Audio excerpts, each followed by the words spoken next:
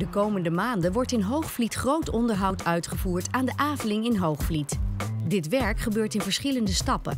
Zo is de rotonde op de Aveling en Venkelweg komend weekend afgesloten. Van vrijdag 21 juni 7 uur s avonds tot en met maandag 24 juni 5 uur s ochtends.